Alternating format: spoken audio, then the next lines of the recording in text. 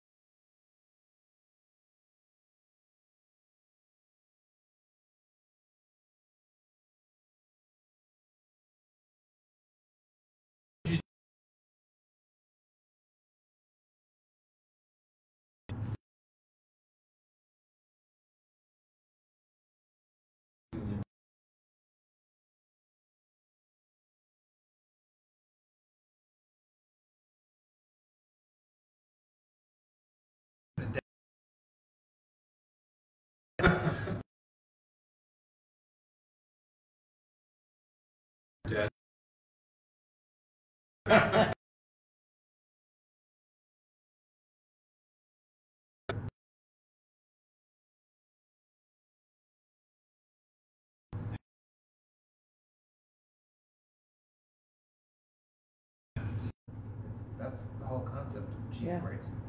Yeah, And it's like, doesn't matter what you do or how you live or anything. And it's like, that's totally not in line with a whole lot of the New Testament. Mhm. Most, all of it. and that, what it always amazes me is people are perfectly willing to, for example, quote St. Paul on, on one thing that suits their agenda, and then they just won't deal with the next paragraph in Paul, and, um, so that's kind of a problem. Did you get a chance to, Not yet. um, you have. There's a set over there if you want them. Oh, okay. What Okay. we're doing for reading is, um, this guy Bonhoeffer, um, ran a, a small clandestine seminary in the late thirties while the Nazis were taking over the country. And he took over the church in Germany and, uh, so those that objected to the Nazification of, of the church were trying to train people for the ministry independent of the sponsored schools. So they were using people like Bonhoeffer and had these young men living in, you know, like 30, 30 of them at a time. And his place was in uh, Finkenwalde, which is now part of Poland, up near Gdansk. And uh, he knew that he was going to have this assignment, so he kind of prepped up for it. And they got shut down by the Gestapo, he wrote Cost of Discipleship, or his title was just Discipleship. And that was pretty much what they taught in the in the school. And then he wrote another one on how they live together. So that's called Life Together. And uh, uh, they're really interesting books. This discipleship is pretty much a commentary on the Sermon on the Mount.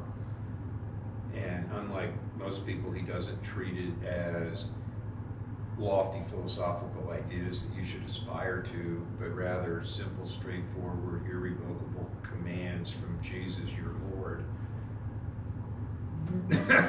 so that changes uh, the game quite a bit. And then, of course, the thing with Bonhoeffer that is, um, he he wrote a lot, so they are able to trace the development of a thought from early writings up until the time this book was published, and then he, in a very intriguing way, journaled while he was in prison, and one of the guards snuck his notes out, and uh, he was working on a book on Christian ethics. And so you can see him as a young person thinking that real radical stance for peace was contrary to the natural order and blah, blah, blah. And then in mid-career, he is one of the most outspoken and passionate pacifists that has ever been in the church. And then he dies for his involvement in the plot to kill Hitler. And it's like, what the heck is, you know, it's like, how do you hold that paradox together? So um, that's what we're looking at. Ask, as far as the way he presents this, this is from the 1930s, I presume, is the Yeah. original writing. How does the seminary teach this, Lutheran seminaries today? And how do they, how does it fit with what the ELCA is preaching today? Um, I don't know what they're doing today, and I'm 40 years out. So when I I was disappointed when I got to seminary and found out that I was the only one in my class that had ever actually read Luther. Um, when I decided to go to the seminary, my pastor a guy named Gene Hansen. Um, met with me weekly for a year, and we walked through the Book of Concord, which is the collected confessional documents of the Lutheran Church.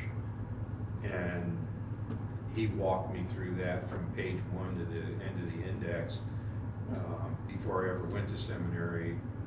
Um, and my pastor before Gene was a guy named Kermit Johnson who grew up Lutheran and then he became a Presbyterian in a foxhole in the Korean War. and he's the one that got me on the Bonhoeffer. Um, but we had nothing of Bonhoeffer either the first year at Philadelphia or Gettysburg, the remaining years at Philadelphia. So all my professors knew of him. That it wasn't like he was unknown to them, but the the problem with the curriculum of the seminary is you have all these people feeding in. We want pastors to know these things, and it, they say it's a mile wide and an inch deep. So, you know, like you get one, maybe two courses on preaching. Um, you get, you know, uh, kind of a 101 church history and then another one on Lutheran confessions. And so you're exposed to a variety of things, but there's really not a lot of time to dig deep. And How About the cheap grace versus obedient grace, I'll call it. um, That's a big deal. That's a major shift in how it's uh, addressed. Is everything go, everything goes like Mike says, or is it got to be obedient to be have grace and have faith? generally what the school did, and I don't think it's changed, is um, Lyman Lundeen, who was one of my professors, said that it's very easy to get into legalism. And what's really difficult is this concept of grace. And Lundeen would talk about if you try to say the gospel is the cross of Jesus Christ, and you don't put a period and just stop, then you're going to say, well, it's the cross and and everything after the word cross is just legalism.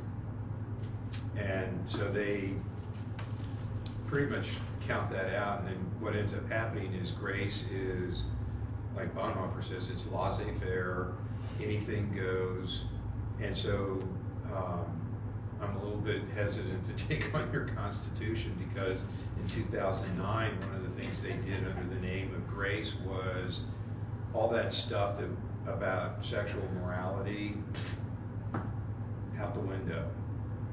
About the only two things that I can think of that would get you in trouble is not what, for my lifetime anyway, was considered to be a, uh, deviant sexual behavior. You could get in trouble for having sex with a parishioner, uh, particularly if it's a child, and anything else is okay. but it's grace.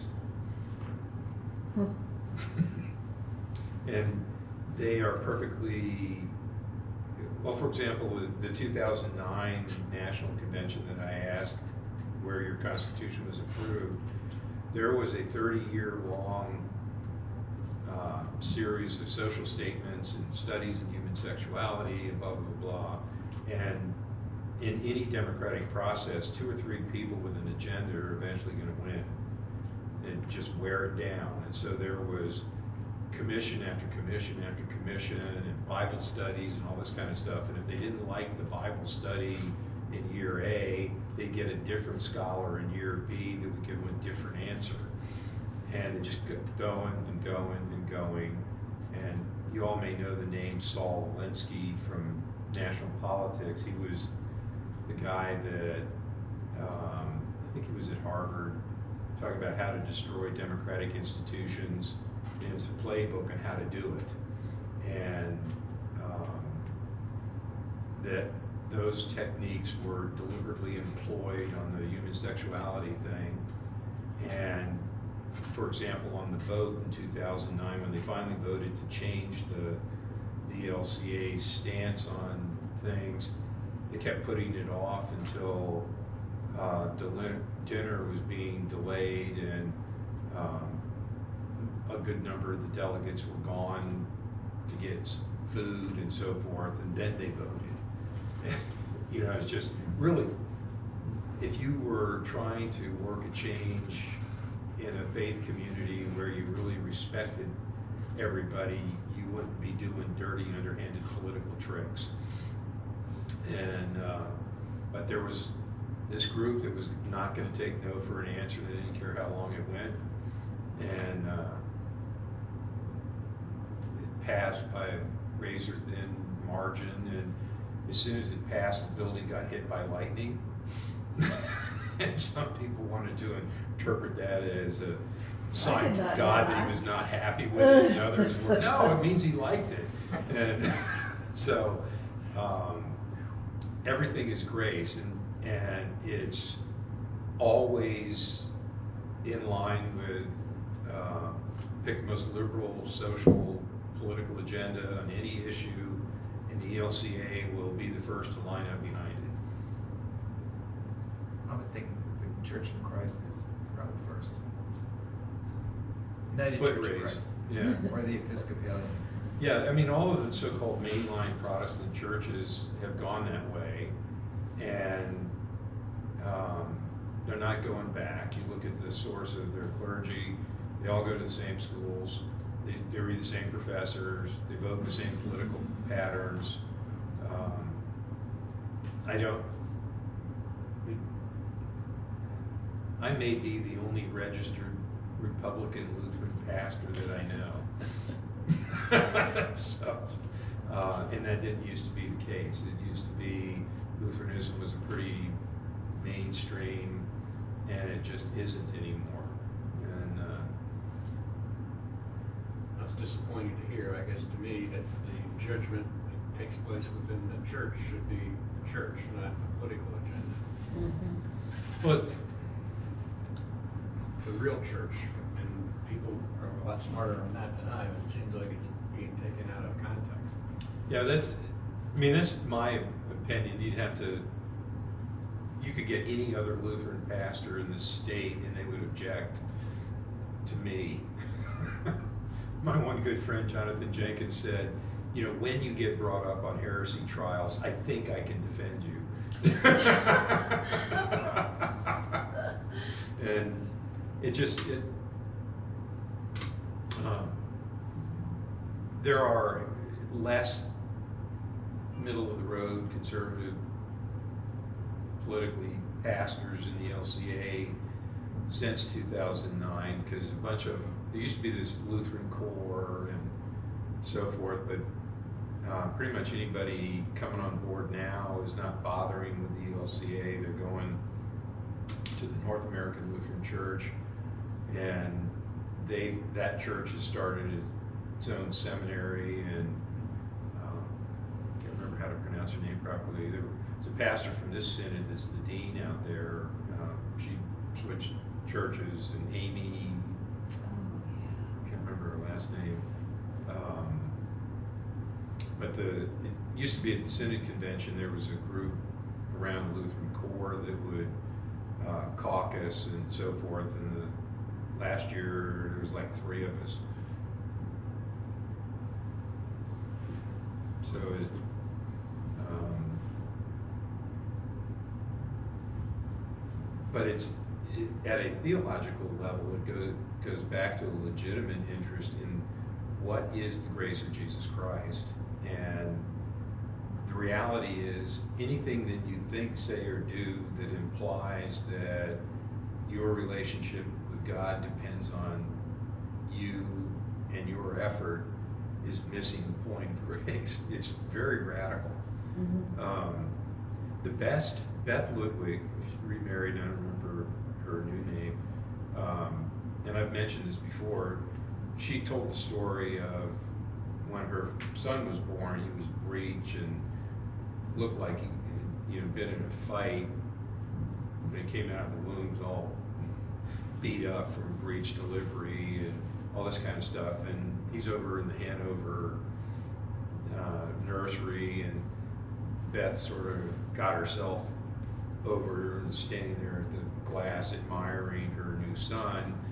And a couple of bassinets down, there was this very petite, very pretty little girl that was a couple of weeks early and had a normal birth and had a perfect little head and a pretty little face. And the mom and dad are standing there oohing and ahhing over their baby. And then the dad points down to Beth's son and goes, Woo, who could love a face like that? And Beth turned and pulled herself up to her whole tall five feet and said, His mother. And I've always thought that in that moment, that is a God's grace to us moment. It's like, kid didn't do anything other than really put a hurt on his mother. Um, it was a tough pregnancy, a tougher delivery, and there he was, and she was in love. And it's like, that's God's grace. That's our relationship with Him. That's the foundation of who He is and who we are and who we are in Him.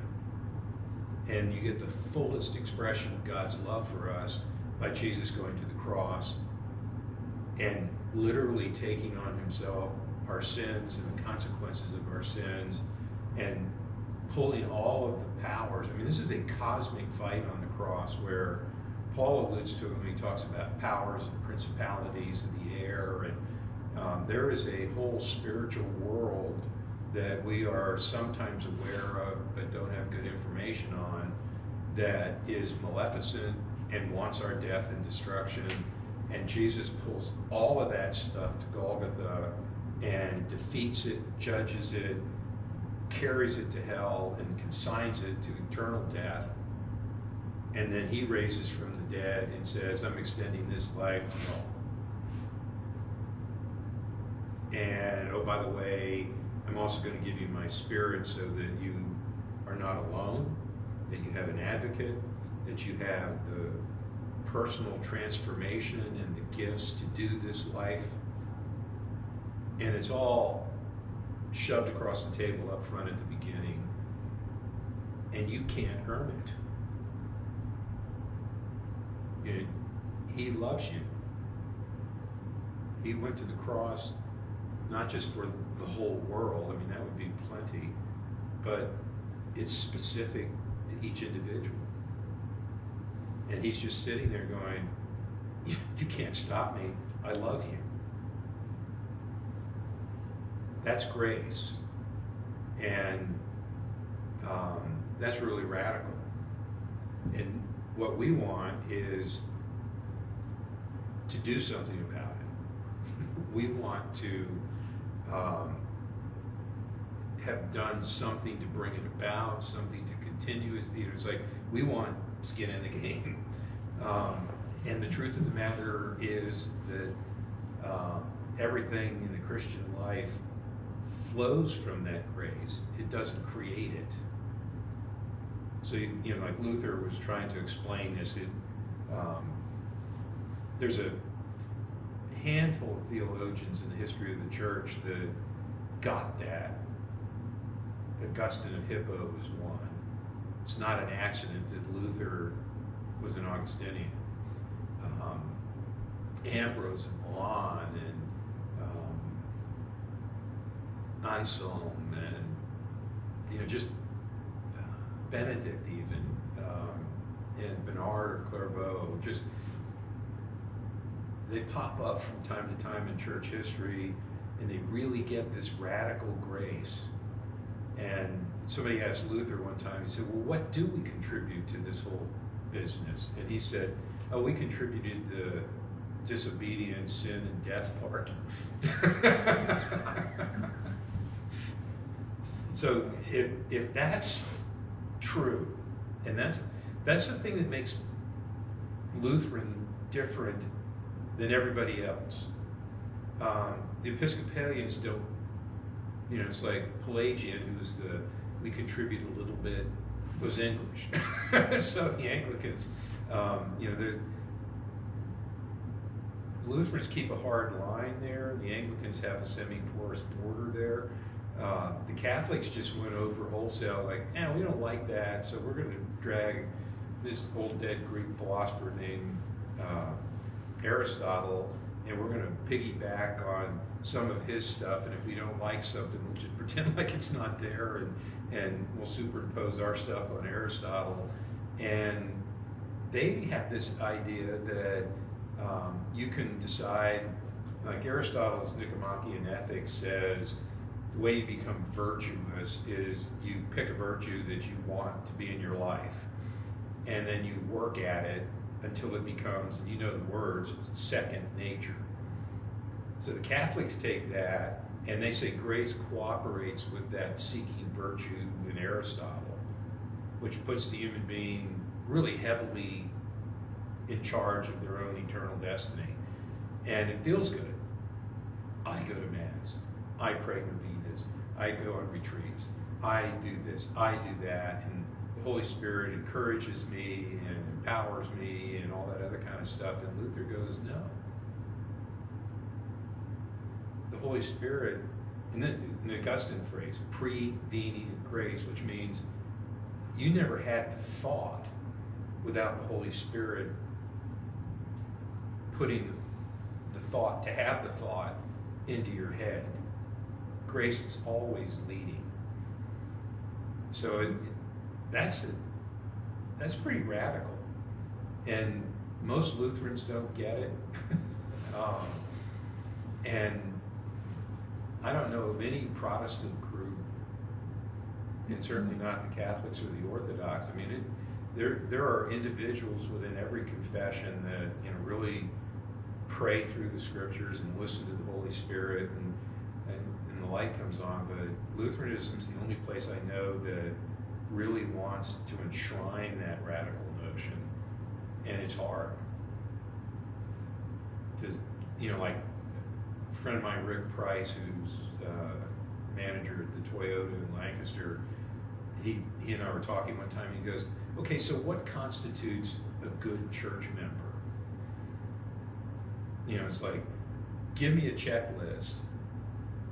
Because, you know, like, he knows what a good mechanic looks like and he can tell you exactly what a good mechanic does and doesn't do, or a salesman, or you know, it's like in his world where he's managing, you know, all those people and uh, can differentiate between.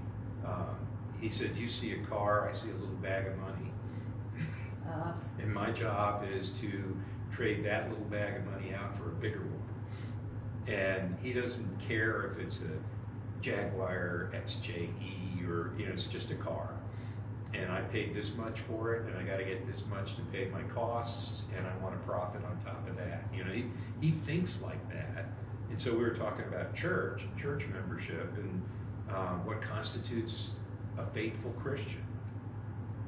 And it, it was like there isn't such a list. Isn't there a difference between a church member and faithful well, that brings us into a, a problem in the Lutheran Church around the issue of baptism. Mm-hmm. Um, I'm, I'm quite convinced that it's an apocryphal story told by some silver-tongued devil preacher that at Worms, April 18th, 1521, on the 17th, Luther got dragged before the emperor and princes of the empire and the legates of the church and these your documents and he said, can I have 24 more hours to think about it? And prince goes, oh, it's dinner time. Bring him back tomorrow. We'll cook him tomorrow.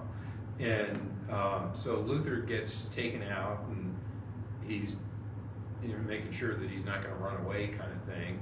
And he was up all night by himself. And the story is that he was kind of running through what he was facing because a hundred years before, a professor named Jan Hus had said and done the same thing, and they cooked him.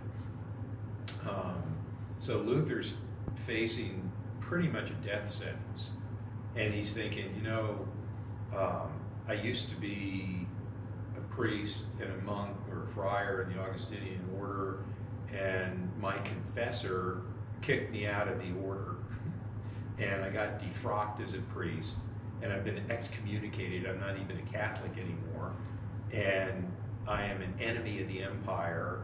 And my mother can't give me a sip of water without putting herself in jeopardy of capital punishment. And they have taken everything from me, but they haven't tried to touch the fact that I'm baptized. And so he says, I'm baptized.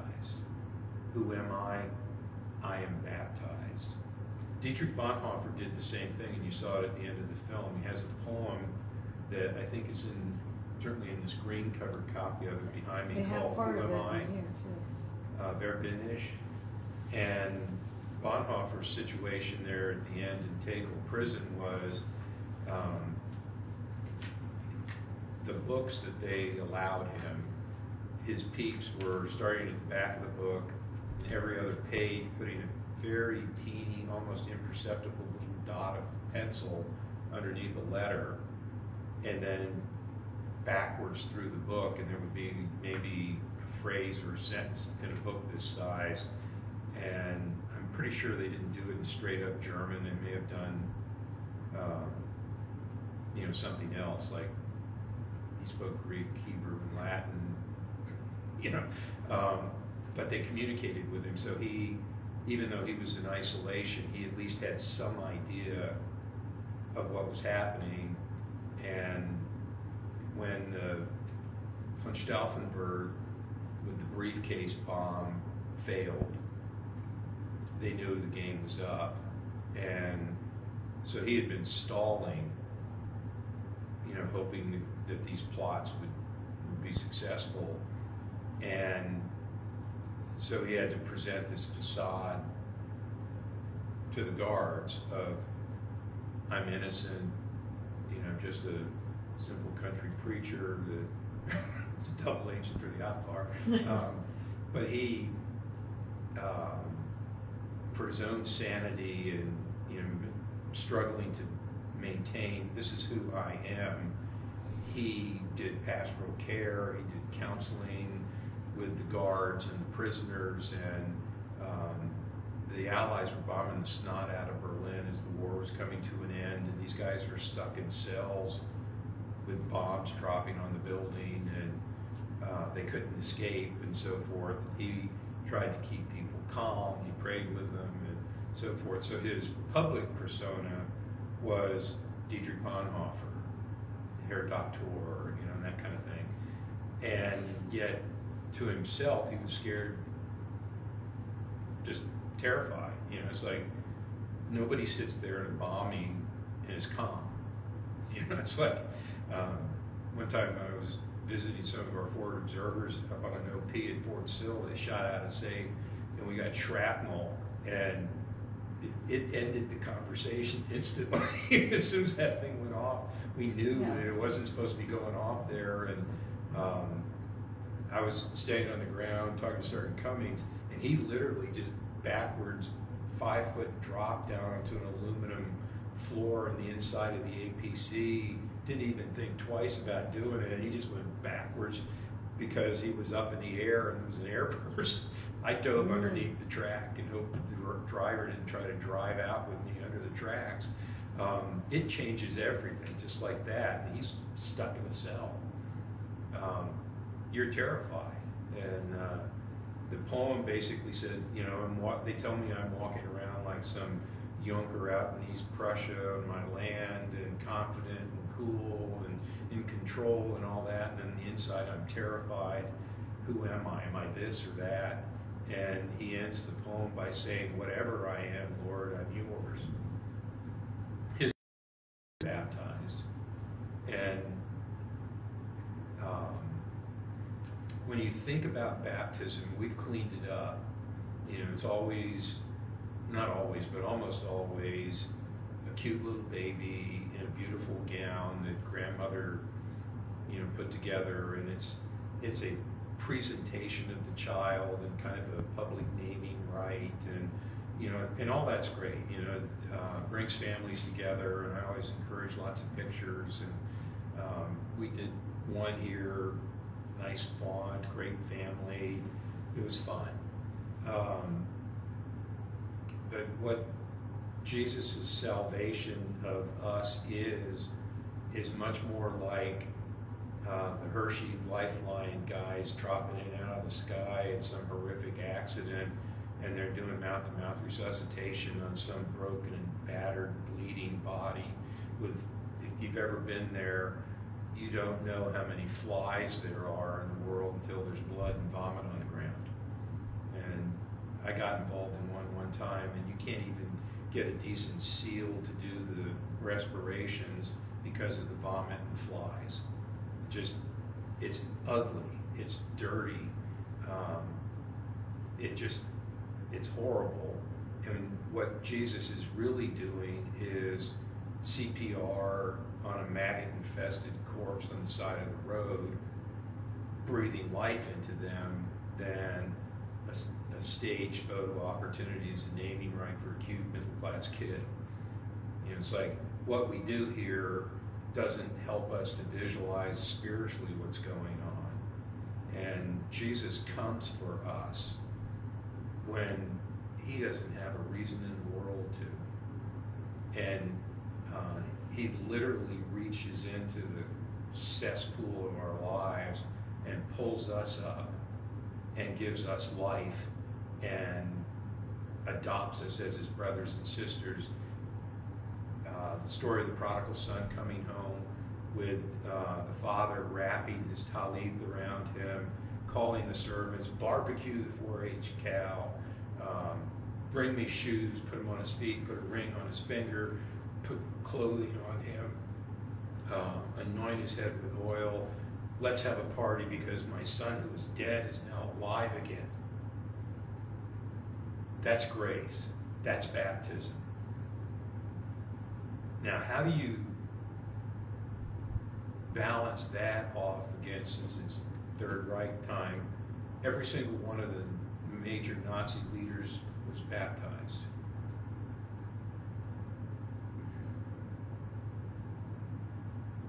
None of them were excommunicated by their church.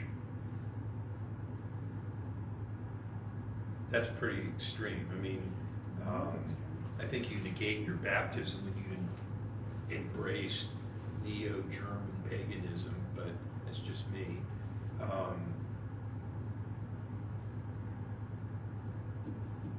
No. How do you maintain the integrity of what you have to say about baptism against the reality of, um, well, Goering, Reich Marshal, Air Marshal Goering? Uh, they kept a Missouri Synod Lutheran pastor at Nuremberg for the trials all the way through the executions and so forth. And he was rewarded for his service to the country and the church by never getting another job again because the army ordered him to stay, and he did. And then the Missouri Synod. Um, but he provided pastoral care to the guards and prisoners at Spandau Prison. And the night before Goering was supposed to be executed, he called for the chaplain and said, I would like to receive absolution and communion in case it's true. And the Missouri Synod Lutheran chaplain said, go to hell. Turned around and walked out. Um. We're going to be involved in Jesus' judgment of creation. And we are going to be called upon to discriminate between truth and falsehood. There are so many people who are baptized because the church just baptizes anything that moves that um, are not in any way, shape, or form committed to the Lord.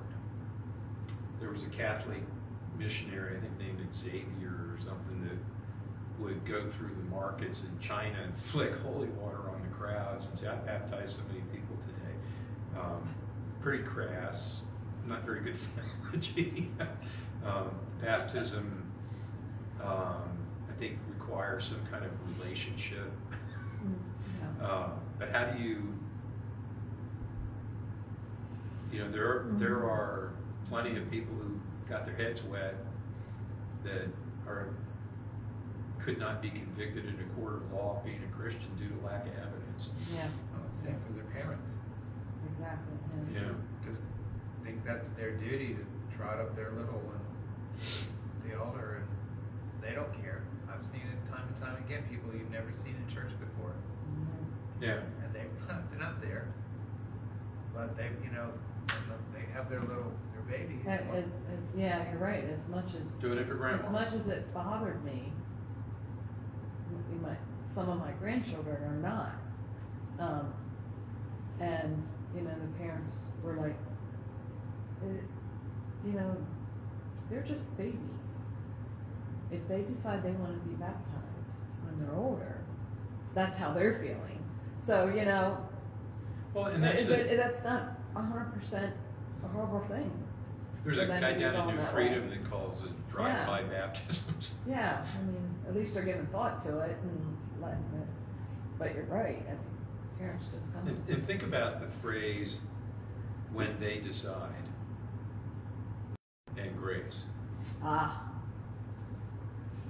Like, that's a good the soldier that I was involved with, the, there was a ammunition convoy and a couple of the trucks were going too fast and flipped and it was bad. It, bodies everywhere, and fire and ammunition and helicopters coming in and all this kind of stuff. He did not ask Sergeant Widener and I to do CPR on him. We just did it. Mhm. And he couldn't stop us because he was kind of out of it. Yeah, Um, yeah, right. He was, he was gonna get saved whether he wanted to be or not. Yeah, Um, So, when Bonhoeffer, back to the book, the circumstance that he's in, um, the, the church, after, in the late eighteen hundreds, you started to get, um, a really significant move away from the way they used to train clergy, where seminaries were run by sitting pastors who were in congregations, and everything was uh, based on the confessions. And I'm looking around for where did we put the Book of Concord? In case you've never read it, Mm. this is um, the, the Book of Concord, where you get names like Concordia Lutheran Church and so forth. Um, in the generation after Luther, there was big discussions about, well, what exactly is it that we believe, teach, and confess? And so they had a big gathering, and people um, hammered out, okay, what do we believe, teach, and confess? And so they took, uh, it begins with the apostles' Nicene Athanasian Creed. And that very important to these quote evangelical theologians that this be continuation of the Catholic Church in the sense of the universal Church of Jesus Christ. And they have documents in there, uh, one called the Augsburg Confession, which was delivered at an imperial congress in the city of Augsburg in 1530. And Luther was alive but not present. He had a death sentence from 1521, so he could go as far as Marburg, which is like 175 kilometers north of Augsburg.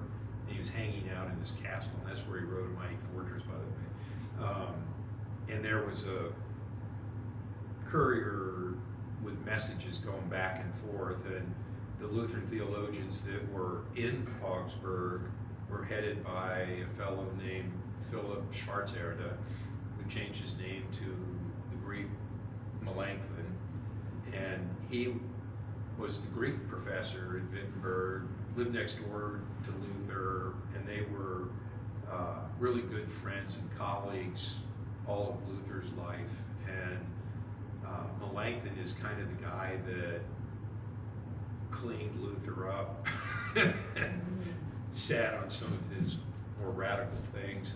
But Melanchthon wrote the Augsburg Confession, and then when it came up on the docket, he read it to the emperor. And the next day, the Catholic delegation stood up and said, everything he said is wrong. And the emperor goes, okay, you're refuted, so give it up and let's get on to talking about the war with the Turks. So on the way home, Melanchthon sat down and wrote, I would call it an explanation, he called it an apology uh, to the Augsburg Confession. And where there's a paragraph on justification by grace in the confession, there's 64 pages of explanation and biblical exegesis in the apology to the Augsburg Confession. So it's um, the short form and the long form. They're in that book. And um, it used to be that your seminary education was biblical studies and the confessions. Boom, boom. And to get ordained, you had to sign a copy of the Book of Concord. As far as I know, I'm the last pastor in what used to be Central Penn, turned into Lower Susquehanna, where I did. I haven't seen it at an ordination since. I mean, it may happen all the time, I just don't know about it, but um, my ordination was irregular a couple of things, like Bishop suddenly got called out of town and McCarney and went to Lutheran World Federation for something, and his assistant, Guy Edmiston, did the service, and then Guy got elected bishop, so he ordained me before he was a bishop. and I signed the confessions, but that was standard. And um, that's the way they were trained. And, and, it was across the board. And of course, it was male only. And um, I knew one guy in Germany that wanted to be a pastor, and they wouldn't let him because he had a club foot. And they were taking things out of Leviticus where uh, if you have any kind of skin or deformity or injury or whatever, you can't serve. And they did that for pastors. So it was like, um, that's the old way. So the church that he grew up in got exposed to this new textual criticism where you brought in techniques that historians use to evaluate documents and you evaluate the scriptures that way. And initially, um, you know, they're, you know, like for example, Matthew, Mark, Luke, and John are not the same book. They are four versions of the same story. You know, they're about the same person. And each one has its own characteristics, but that started out as they're inconsistent, they're, they contradict each other, blah, blah, blah. Um, it's only when all the news media goes away and you get down to all right, boys and girls, get out the stubby pencils and let's start going through this and why, why, why, why, why. And in 10 million seminars, it gets hammered out, and you suddenly realize that um, they're a lot like portraits, and the artist is painting the story of Jesus. It's emanating out of who the artist is as a person, and who the intended audience is, and the language, and all that kind of stuff. And you, what you end up with is this amazing amount of consistency with the individuality. And then you find out things from Mark, like we talked last week about the chiasm. Um, Mark looks like a country bumpkin. His spelling sucks. He's not fluent in Greek. Uh, he's choppy. He uses the word immediately 54 times. And just. There's no transitions, no nativity, no resurrection. You know, it's like, this isn't a very good and Luke says so. Others have tried to write this story, and I'm. I decided that I was going to do it. I.e., I don't think they did a very good job, and I'm going to, you know, clean their stuff up. And so, 85 to 90 percent of Mark is reproduced um, in Luke, and also over 90 percent in Matthew, and they both fix his spelling, fix his grammar, insert transitions. Jesus was a great preacher. Do you think we ought to have a sermon or two of his, you know, just to give people an example? So um, you can kind of think of Mark as pretty crude. And then you start getting into it, and you realize that Mark did all of this thinking way ahead of time before he ever put pen to page. And there's a, a phrase that is metalepsis, which is a literary device where Paul uses it all the time Mark does as well, but you make either a use of a word or a phrase or an allusion to an idea to something in the general background, like the entire middle part of Isaiah from a phrase, and you realize, oh my God, he's talking about return from exile as salvation.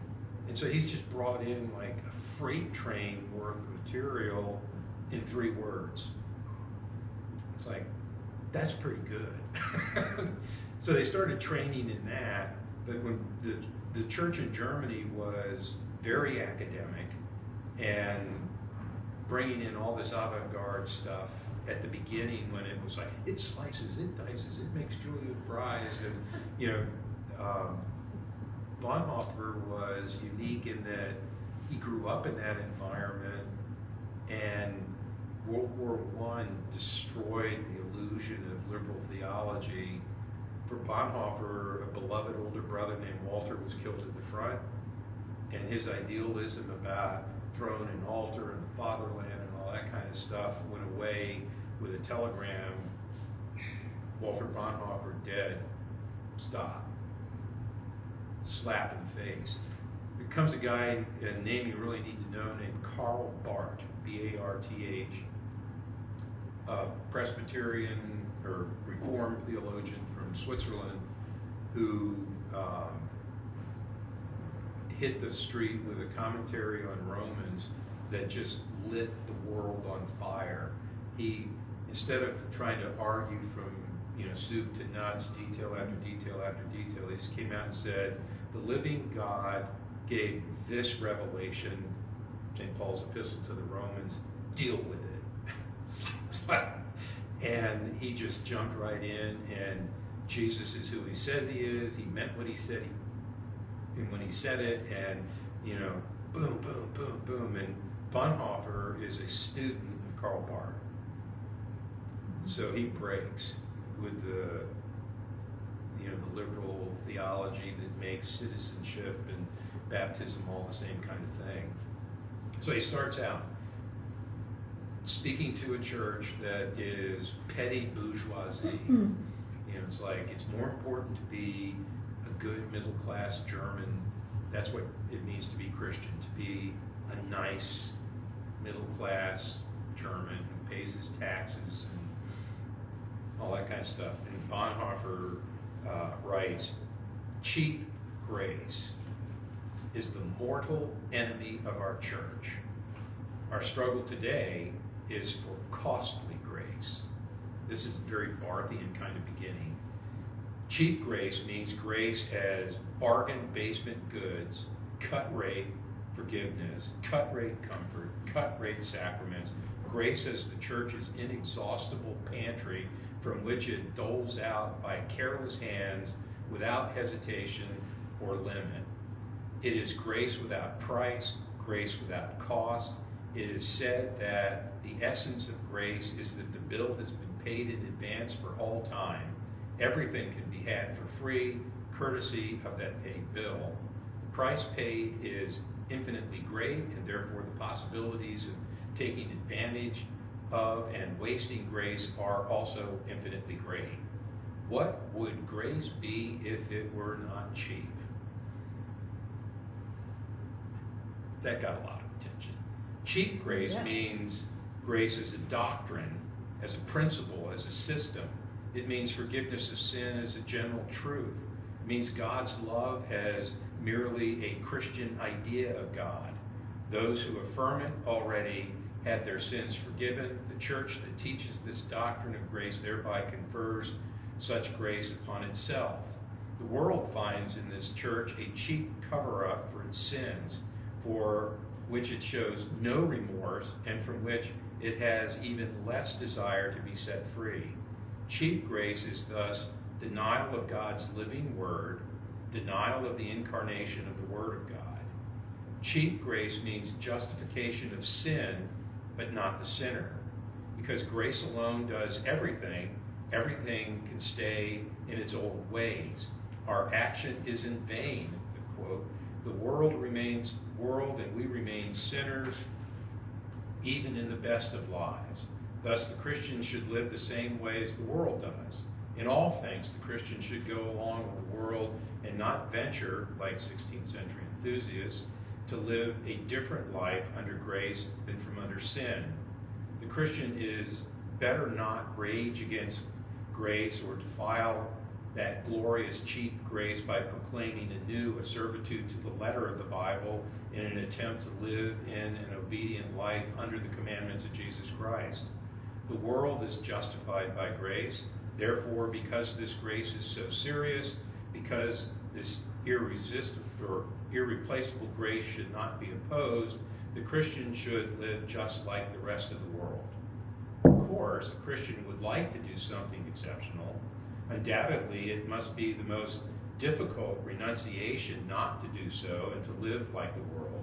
But the Christian has to do it, has to practice such self denial so that there is no difference between Christian life and worldly life. The Christian has to let grace truly be grace enough so that the world does not lose faith in this cheap grace.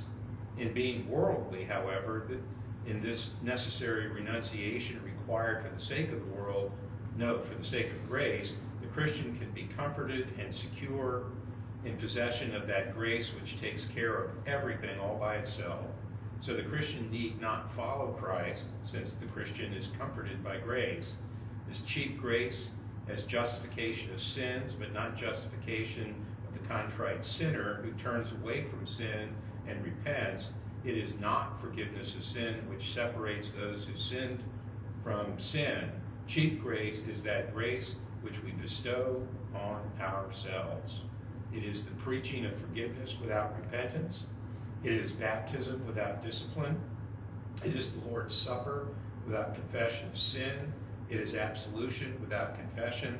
Cheap grace is grace without discipleship, grace without the cross, grace without the living, incarnate Jesus Christ.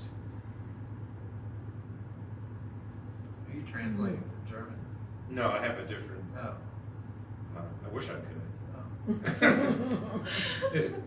The reader of my dissertation said, Rick, you speak German on a level you can order French fries. And he goes, I translate Pannenberg for French fry money. so, anyway, um, that's his critique of state church liberal Lutheranism. And um, like they say, if the shoe fits, wear it. that is like, could be read right today. Yeah, I feel like what I that's was gonna mainline. say, Go the exact like- same thing. A bunch of mainline churches, but I'm not even gonna pick on the Lutherans. Well, they're all, s- you know, they're all into respectability. Mhm. So, Yeah. so- Alternatively, costly grace is the hidden treasure in the field for the sake of which people go and sell with joy everything they have.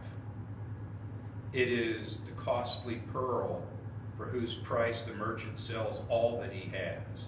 It is Christ's sovereignty for the sake of which you tear out an eye if it causes you to stumble. It is the call of Jesus Christ which causes a disciple to leave his nets and follow him. So, this liberally trained Lutheran pastor and theologian is saying if there's grace, there, you know, it's like if you chuck a rock into a pond, there are ripples. If you chuck grace into the pond, the ripples that flow from it are discipleship. And oh, by the way, the word discipleship in German is Nachfolge, which means to follow after. So if you are a disciple of Jesus, you walk away from everything else and you go where he goes and you do what he does. And if you have a question about something in your life, you do what he says. That's discipleship.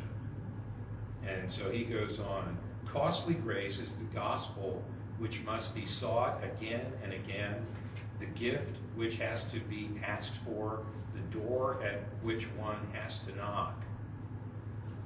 It is costly because it calls to discipleship. It is grace because it calls us to follow Jesus Christ. It is costly because it costs people their lives. It is grace because it thereby makes them live. It is costly because it condemns sin. It is grace because it justifies the sinner. Above all, grace is costly because it cost it was costly to God because it cost God the life of God's son. Quote, you were bought with a price. And because nothing can be cheap to us, which is costly to God.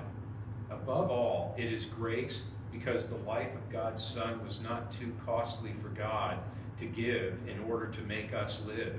God did indeed give him up for us. Costly grace is the incarnation of God. So he's literally not saying anything new. Every one of his allusions, like seeking, knocking, you know, that straight out of Scripture.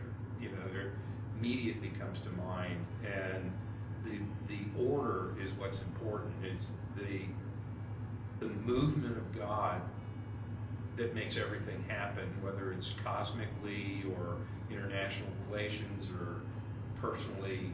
Um,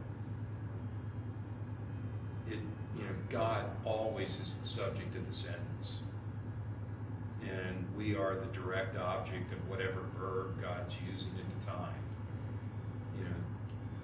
And this crock of, I decided to accept Jesus as Lord.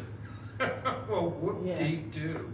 Um, try that out on um, the judge. Like, you get hauled before the traffic court and he said, I don't recognize the court system in Pennsylvania's right to tell me how I drive my car.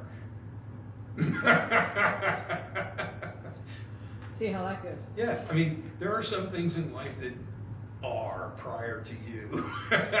so, um, just a couple more things here and then we got to stop. Costly grace is grace as God's holy treasure, which must be protected from the world and which must not be thrown to the dogs. Thus, it is grace as living word, word of God, which God speaks as God pleases. It comes to us as a gracious call to follow Jesus. It comes as a forgiving word to the fearful spirit and broken heart. Grace is costly because it forces people under the yoke of following Jesus Christ. It is grace when Jesus says, My yoke is easy and my burden is light. Um,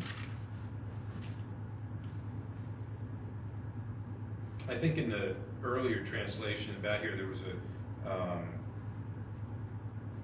a phrase that really stuck with me over the years. It's like costly grace, you know, uh, calls a person to come and die to themselves. And in that exchange where Jesus is Lord, uh, St. Paul says to live is Christ, to die is gain. So, um, in the discipleship relationship, Jesus is Lord. He is the one who has all the initiative. And um, the irony of that is, it sounds like and feels like you're giving up your autonomy and your integrity as a person and all that other kind of stuff. But the reality is, sin so perverts us that that autonomy and individuality that we crave so much is so bent and perverted that it's at best an illusion, and it's only under the yoke of discipleship to Jesus that we actually become truly human and truly unique. It, it, there's that twist, and so um, it begins there. And so who do I owe money to? So- Well, like, like Clarence said, I, when, at the beginning, when I, when I started reading this, I, I like what it's, I, I really, and, and I saw you on Sunday and you said, I don't feel, it's like, you felt like you were living, you know, like you just said, you can put a chip on it, but, but I under, but. God you're- pulls you that back was to the just- legends. Yeah, yeah. Yep, and he's, that's, but, uh, yeah, it's, it's really a thinker. When I started reading it, I didn't wanna stop. So, I don't think it's that hard of a read. He, he writes in a more palatable style to me than N.T. Wright did. Mhm, That was all over mhm. the place. This thing is, he's focused. oh yeah, Yeah, And, you know, like I was reading the introduction, there, there's a critical edition that Augsburg Fortress that, um, it, it's amazing to me how much of Bonhoeffer's handwritten notes survived. You know, like Yeah, the Gestapo confiscated all of his papers in Berlin and kept them, and they survived the war. And so scholars are able to uh, go through it, but there's a path through his writing that um, the two big things that he wrote early, one was um, the Communion of Saints, and the second dissertation was Act and Being, about how do you make decision, you know, how, how does one make decisions in life is Act and and um, he, uh, there's these threads that you can see the development, and there's a high level of consistency between uh, Communion of Saints, Act and Being, Cost, Life Together, and then what intrigued people about so many things about Bonhoeffer that were intriguing. He um, was working on a book on ethics, and they've actually published it, um, and it's massive. it's hundreds of pages, and it was just his notes. He never got around to actually like doing the rewrite for publishing, and so people read that, and there are these journal entries and letters that he wrote, and um, he, wrote to Eberhard Bethge, who was his administrative assistant, his best friend, and married to his niece. And he said, You know, Eberhard, I've been thinking about religionless Christianity in a world come of age. More later. there was no later. It's like, holy Moses, Yeah, like- what does that mean? yeah. For a state church, old Prussian Union, Lutheran guy, where, you know, in Germany, the Internal Revenue Service collects your church dues. Three percent of your gross income goes to the church. You can opt out, but if you do, you get nothing. One of my sergeants was married to a German girl from Augsburg, and her mother died, and she had opted out of paying the church tax and she didn't get buried in a, a consecrated cemetery. She didn't get last rites. She was Catholic. She didn't get communion. She didn't get anybody praying for her. She got nothing. And her daughter woke up every night for half a year screaming. And so her husband came to me and said, I don't know what to do. And I said, I do. And we'll meet at the cemetery. There's a secular cemetery. And we went over there and talked for a little while and prayed that her mother would rest in peace. And the nightmare stopped. Hmm. And three days later, I was summoned to Dr. Freudenberger's office. He's the dean in Augsburg at the time, and got read the riot act. Like, who the hell do you think you are interfering in internal German church matters? Blah, blah, blah. Wow. And of course, I was very submissive, and I said, Who do you think you are talking to me about providing pastoral care to one of my soldiers? and we stood there toe to toe, him yelling at me in German, and me yelling at him in English. And uh, I said, What kind of a pastor are you that can't see a woman tormented and are worried about a prayer? Yeah. You know, and he goes, You don't understand, you're interfering with things. And I said, Yeah, I do understand. I said, Let's take this to the Lord. Perfect. so It's a different kind of church when it's a state church, and then you go religionless, you know, like no institutions, no government collecting the tax for you, no clergy. Uh, in Germany at the time, they had this pay scale where the average laborer got X amount of marks, and then jobs were rated, and you got above that. So, like a, a pastor got five times the amount of money that a laborer got. You know, teachers, pastors, blah blah blah. Lawyers got seven times, you know, that kind of thing, and it's all carried from soup to nuts. Full health insurance, uh, 30 days of paid vacation a year, not counting weekends and holidays. So, you know, like you want to go on vacation and there's a national holiday in concert with it, would not count against your, your time. You know, it's like you get that day off and you get Saturday off and you get Sunday off. And so you're taking one day in one week and four days and the next, it's five days, though you're gone for 10. Mhm. You know, Right, it's right. like, um, you know, German socialism, and they're very comfortable. You can't touch them.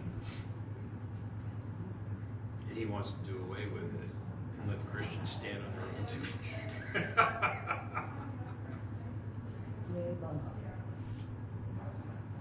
Chapter two. Um, in this chapter one, if you haven't got to it yet, there's a thing about Luther going into the monastery and then his coming out of the monastery is a big deal for Bonhoeffer. He sees um, the, it, used to go into the monastery for being a super Christian, and they talked about it being, you know, like vows as being better than baptism guaranteed entrance into heaven, and you know, monks are superheroes and and so forth. And the irony in Luther is he was seeking that, and it's when he walked away from it that he really was impactful as a disciple of Jesus in the world. And uh, if you think about it in a certain way, uh, how many people have you known that have been interested in their spiritual life and they get told, oh, you should go into ministry? Mm. It's like, that sounds good on one level, but it's really like, we really don't want to have to mess with you, so we're going to shove you off into this safe little corner. And we can continue to live our lives without you being a problem. And you really are a problem if you're a fully committed disciple of Jesus Christ in the workplace. But yet he said monastas- monasticism saved the church. It did. Yeah. Mhm. Christianity was wiped out in Europe, and then some Irish monks came back across the English Channel the other way and reintroduced it. So they said they had two levels of Christianity, the, the monks, the monks and everybody else, which was a lower level. Mhm. So that, That's why I'm not a Roman Catholic. It's, it's, I mean, the, the human thing of success and achievement and title and position and all that kind of stuff, we do that. Status is the only word I can think of. And what's really radical about um, Christianity is, uh, and Luther said it on his deathbed. He said, all beggars, one beggar telling another beggar where to get a free meal. And just to be radical, you can fire me, and I'll be gone in a, in a month if you do. Um, last night at the council meeting, for that individual to sit there and say, if she's in this building, we're not coming. I want to say, what the hell makes you think you're better than her? Yeah. Did Jesus not die for every single one of us? Yeah. And the truth of the matter is, if, if my sins were thrown up on a big teleprompter or, you know, one of those big screen things, I'd be trying to find a hole to crawl into. And that's true of every single one of us. And one of the things that Lutheranism has over everybody else is, you know, Luther was convinced, you know, like if you're 16, you're going to express your broken, sinful nature with the only thing you have, your body. And when you're 90, you're going to express your sin with the only thing you have is your name on the deed of the family farm, and you threaten to excommunicate anybody that doesn't do what you want. It's the same sin, just being expressed in the most convenient vehicle to you. And you never stop being a sinner. Ever. Simul iustus et peccator. Justified by Jesus Christ and in the same moment still a sinner. That's radical. So Yeah. my one battalion commander was a Mexican Catholic, and he told my endorsing agent, he goes, "He's the closest thing to a priest I know." I'm not a priest. I'm baptized. And for some strange reason, the church in a hard time said, "All right, we'll let you preach and teach," but this dick guy said, "If you think God's calling you into the ministry, you better hope He calls you loud enough for me to hear." God bless Dick Guy. Yep. That sounds camera.